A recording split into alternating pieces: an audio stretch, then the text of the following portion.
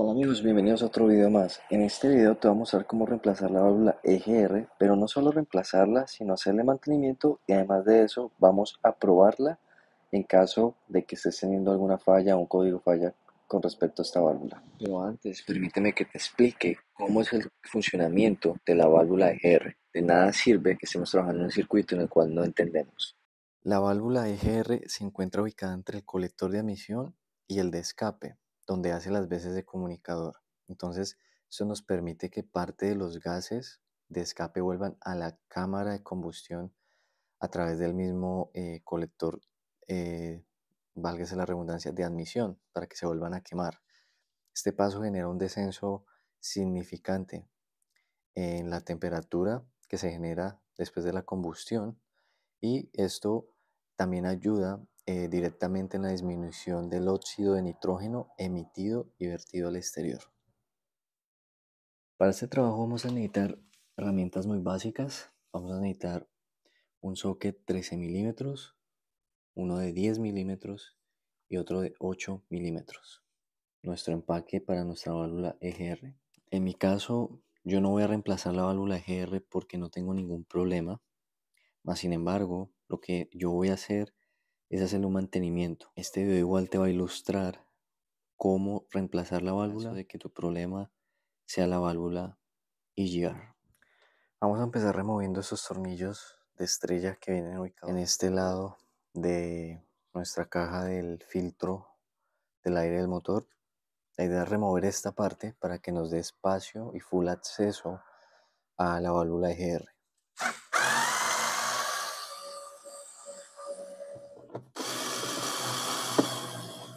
Son tres tornillos tipo estrella que sujetan esta tapa. El otro está ubicado aquí en este extremo.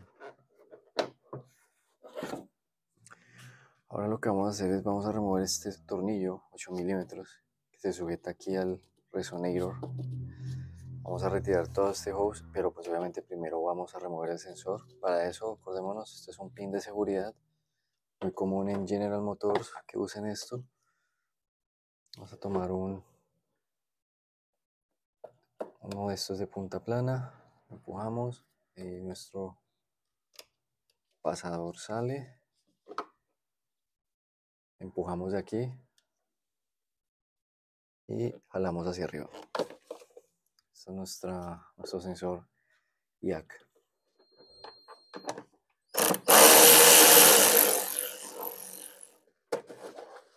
Antes de liberar toda la manguera, vamos a notar que tenemos una conexión aquí para los que no saben, esto es de la, de la bomba del aire secundario del motor.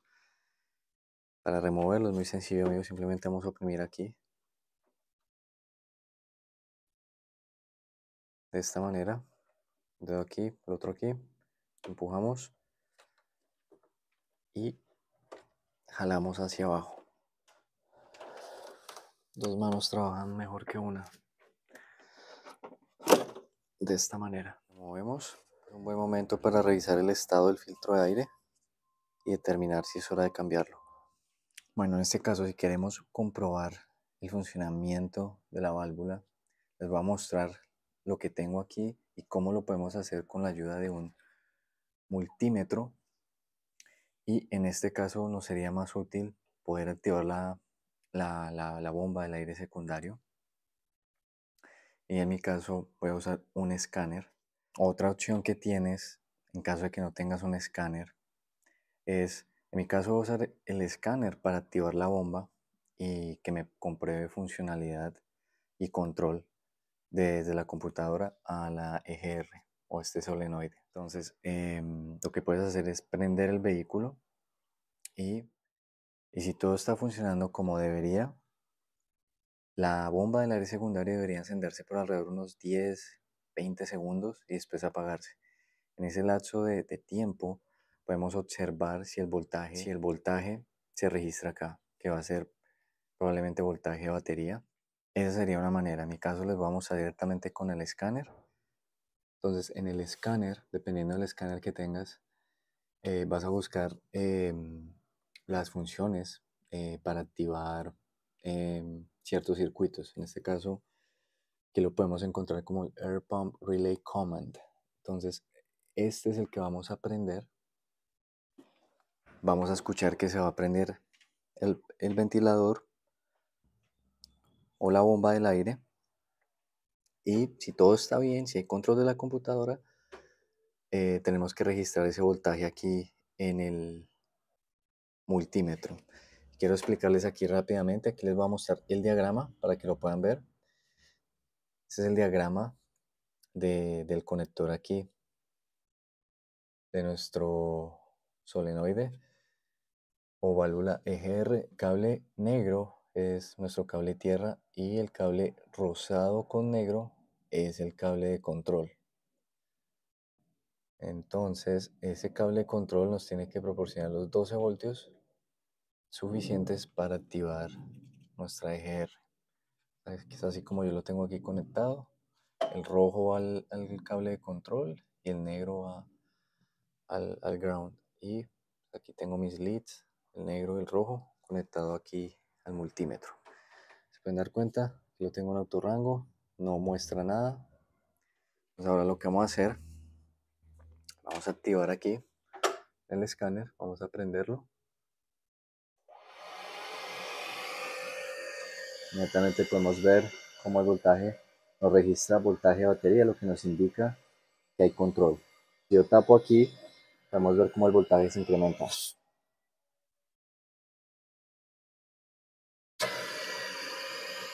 Es otra buena manera de... Yo lo acabo de apagar y podemos darnos cuenta, se va completamente el voltaje. Es otra manera, lo que hice acá fue tapar esto, que es otro de los ductos que viene desde la bomba del aire secundario y podemos, nos podemos dar cuenta cómo el voltaje empezó a incrementar. Eso nos muestra que internamente el circuito está respondiendo apropiadamente a las diferentes condiciones. Entonces amigos, con este test podemos asumir que el control de lo que viene desde la computadora está bien. Nuestra bomba del aire secundario, que es la que está por allá abajo en este vehículo, está bien, no hay problema. Ahora, si seguimos teniendo un código de falla debido a la GR y queremos ir más allá, eh, afortunadamente eh, en el escáner no encontré una función que nos muestre voltaje o el, porcentaje que desea la computadora ver versus el real porcentaje que hay de presión interna en la válvula, etc. Eh, por eso tuve que hacer este test. Así esto fue lo único que pude hacer con el escáner. Pero ahora otra manera que se puede hacer es activarla directamente, sea con un bypass, un cable eh, a tierra, otro a 12 voltios. Obviamente vamos a desconectar el conector, yo les voy a mostrar cómo lo voy a hacer y pues tendríamos que escuchar un clic internamente. Ojo, esto es como para, entre comillas, poder deducir que hay un funcionamiento mecánico internamente, más no nos va a asegurar 100% que nuestra EGR está funcionando idealmente vamos a hacer eso nuevamente. Pensé de pronto hacerlo directamente desde aquí, pero em, es muy difícil conectarme ahí, entonces vamos a hacerlo de esta manera. Vamos a hacerlo nuevamente, muy parecido al test que les acabé de mostrar. Siempre si pueden, prueben los, los sensores o los conectores de la parte de atrás con este tipo de, de probes. Porque si intentan de pronto perforar un cable y eso y no lo encintan después o algo así, eso les puede ocasionar problemas después, tengan mucho cuidado con Entonces yo simplemente lo que voy a hacer, tengan mucho cuidado, test van a hacerlo con la llave apagada, em, o sea con el ignition switch completamente apagado y lo que les dije, simplemente vamos a poner ground aquí, el cable rojo vamos a ponerle 12 voltios, vamos a, a escuchar un clic internamente aquí en la válvula que nos demostraría que la válvula está funcionando. O al menos mecánicamente está haciendo su trabajo. Eso amigos, en mi caso yo voy a hacer Power Probe. Es como una punta lógica, llamémoslo inteligente. Lo bueno de esta herramienta es que eh, trae un cable, que es el que está aquí, ese que está ahí, que nos provee eh, tierra constantemente. Entonces ya lo conecté al pin que es de tierra y ahora lo que voy a hacer es conectar el, el, eh, otro polo que es el de 12 voltios aquí en nuestra punta. Una vez ya estemos conectados, lo que va a hacer es proveerle 12 voltios, oprimiendo este botón así. Ahí nos va a proveer los 12 voltios. Lo que tendríamos que escuchar es un, ruido eh, mecánico internamente aquí en nuestra EGR. No sé si se alcanza a escuchar, voy a poner el micrófono más cerca a la EGR para que ustedes lo puedan oír.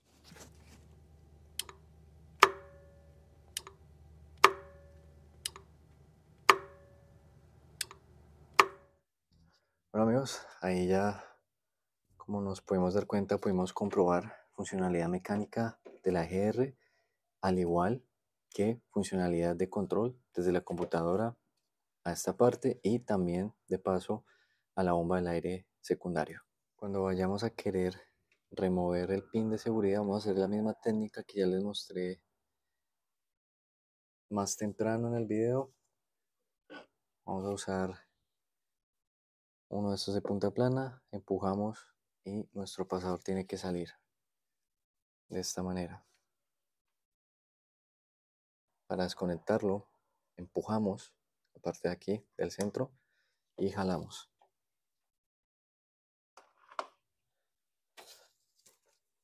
Eso es todo. Ahora en la parte de aquí vemos que tenemos nuestra otra manguera que viene en conjunto, trabaja en conjunto con esta de aquí, que vuelvo y le repito es de la bomba del aire secundario. Para desconectarlo es el mismo procedimiento. Vamos a empujar con los dos dedos en esta área en el centro y jalamos.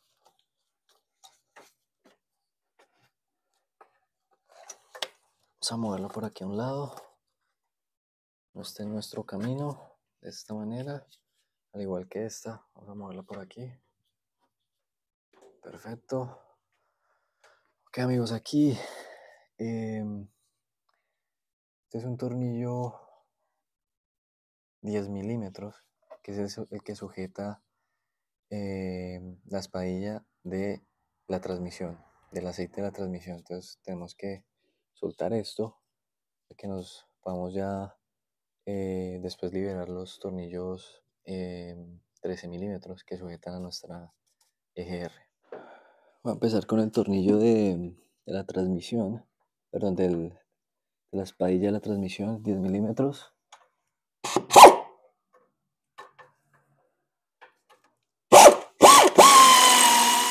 Ahora remover el 13 milímetros.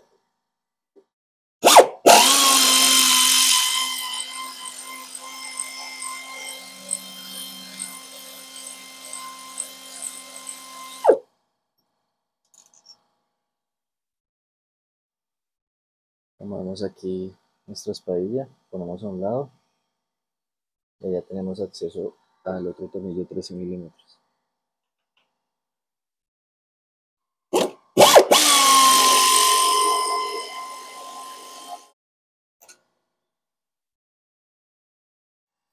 A ver está nuestro empaque.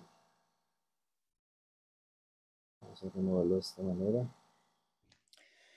Bueno amigos, en mi caso eh, ya les dije, yo le voy a hacer desmantenimiento internamente a, mi EGR. Voy a tratar de limpiar toda esta carboncilla que se ha acumulado durante los años en esta área. Pero también a la misma vez eh, voy a remover estos tres tornillos torch. Los voy a remover. Eh, y quiero ver internamente cómo está, limpiar bien. Voy a usar brake cleaner, un limpiador de frenos eh, en tu caso, si ya tienes la, la, la nueva EGR, ya simplemente es proceder a instalar todo.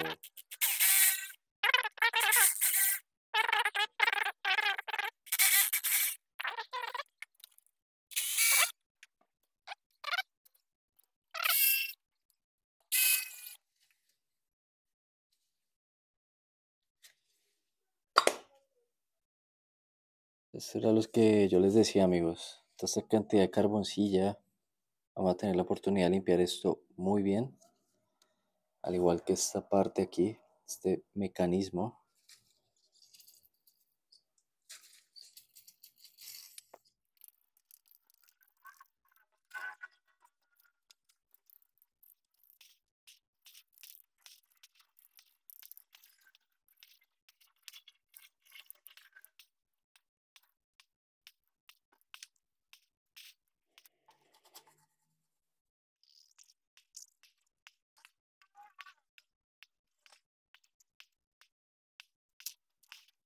Estaba limpiando aquí y me di cuenta que esto sale. Caucho es el sella de esta manera así.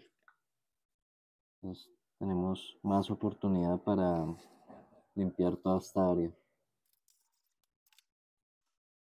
Tengamos en cuenta que el limpiador de frenos no es bueno para, para estas partes de caucho, ¿no? Nos puede degradar esas partes, pero bueno, esto es algo momentáneo. La idea tratar de limpiar esta parte lo mejor posible. Aquí fácilmente vamos a recordar, el lado derecho era el lado de tierra. Probarle nuestra tierra directamente con el Power Pro. Ahí está. Voy a proceder a ponerle 12 voltios para que ustedes puedan ver el mecanismo. Ahí podemos ver nuestra válvula está haciendo su trabajo. Listo, una vez ya hemos eh, limpiado lo mejor posible nuestra EGR, vamos a proceder a instalar todo de regreso.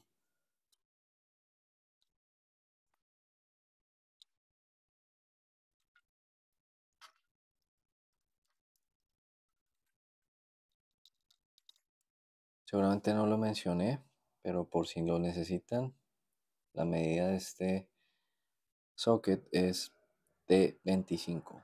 Una vez ya estás listo para instalar la parte, eh, te recomiendo, puede ser con un cepillo de alambre o con un grinder, eh, dejar esta superficie lo más plano posible. Antes de hacer eso, te va a recomendar mucho que coloques esto aquí, eh, que cubra esta parte para que no se entren eh, piezas metálicas o algo así, porque recordemos esto puede entrar en los cilindros, entonces tenemos mucho cuidado con eso. Aquí les recomendaría que usaran eh, un cepillo de alambre para limpiar esta superficie, puesto que si pongo algo en los orificios, eh, puede haber la posibilidad que después ya no lo pueda sacar. Y pues como nos podemos dar cuenta, esto ya es internamente eh, la culata. Una vez terminamos, esto es más o menos lo que queremos ver. La superficie que es lo más plana posible para la instalación del nuevo sello. Aquí tenemos nuestro nuevo sello, es de la marca Felpro. Eh, para aquellos que estén interesados les voy a dejar link en la descripción.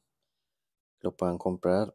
Eh, es por Amazon, entonces dependientemente del país donde están, quieren revisar de pronto eh, muchos de los productos de Amazon eh, o que se venden en Amazon em, tienen envío internacional. Y usualmente ese tipo de, sellos no son muy costosos. Antes de instalarlo, antes de instalarlo, lo que vas a querer hacer es asegurarte que sean de la misma forma Creo que este es el mejor ángulo que les puedo eh, mostrar. Donde les puedo mostrar la instalación.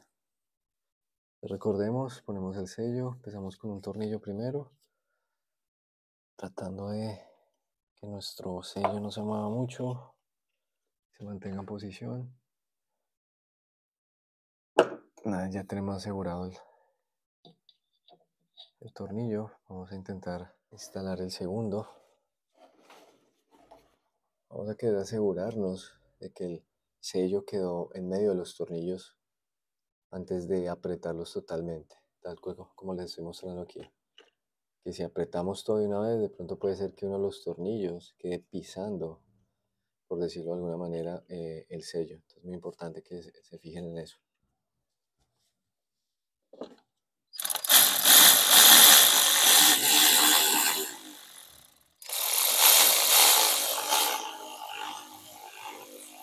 Bueno amigos, aquí lo tienen.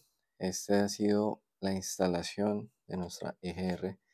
Ya simplemente pues queda reconectar todos nuestros cables y todo lo que les mostré aquí inicialmente. Bueno, ya lo sabes, si este video ha sido de ayuda, por favor no olvides darle un like. Si aún no eres un suscriptor, por favor considera suscribirte. Que tengas un día extraordinario y nos vemos en una próxima. Hasta luego amigos.